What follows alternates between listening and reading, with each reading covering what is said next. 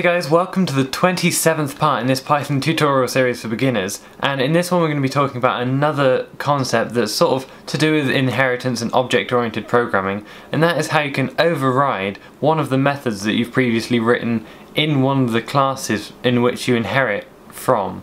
So I'm just going to go ahead and get straight into Python and show you. So you can see that I'm still using the example from the last few videos on object-oriented programming using classes and objects and all I'm going to do is in this dog class I'm going to write a new method. But what I want this method to do is not define some new functionality. What I want it to do is instead replace one of the methods that is being inherited. So in this case I'm just going to use the get name method. And in this case I don't like its functionality or I want to change it. So instead I could just change it in the animal class, but if I did that, it would change it for every single uh, class that's also inheriting from it. But if I just change it in the dog class, then only instances of the dog object are going to have that different functionality, which can be very useful in, in a lot of situations in Python. So to do that, I'm going to give it the exact same name as what I've defined in the animal class.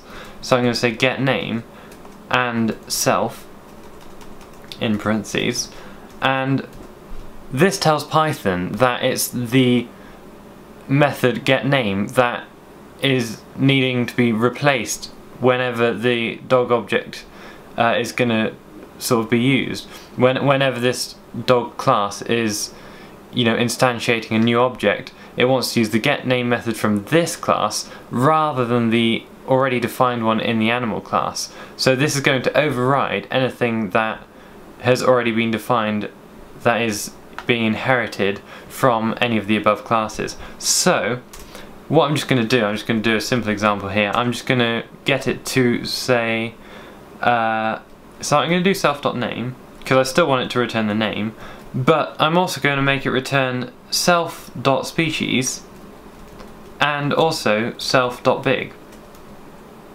dot is big, sorry. So when I save and run this, I'm going to create a dog object, Bob the dog, and I'm going to say his name is Bob, and he is a, a small dog this time, so it's uh, is big as false. And I'm going to create that, and then I'm going to do bob.getName, and what getName does is it's going to run this method down here because this one is going to be overriding the getName that's already defined. So what we should see is we don't just get Bob, which is self.name, which would be this method, we also get the added functionality of self.species and self.isBig.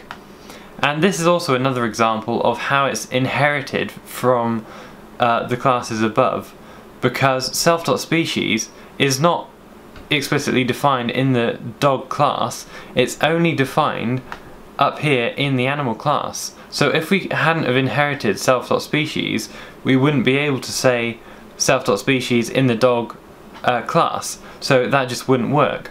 But because we've inherited that stuff from the animal class, which is just here, then we can actually use that information, which is really, really useful. So that's how you override a method in Python. The only other thing I'm going to show you, since it might sort of confuse some of you, is the way it returns three things, because a method in Python can't actually return more than one thing, or more than one object in other words. So what it does, without you sort of necessarily realising if you don't really understand this yet, is it actually turns this into a tuple. So that's why you get the tuple syntax. If you've seen the video on tuples, you're going to recognize this because this is just a tuple and it's just got two strings and a boolean value in it. And what you don't actually have to do with tuples, you don't have to put the parentheses around it and it'll still create a tuple. So that's the reason that this looks like a tuple, in case you were wondering. But that's all for this video, so in the next one we're going to be talking about something completely different, which is regular expressions.